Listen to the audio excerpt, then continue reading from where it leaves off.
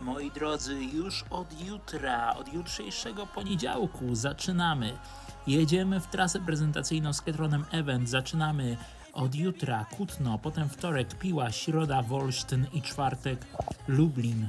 Pakujemy więc eventa i ruszamy do Was.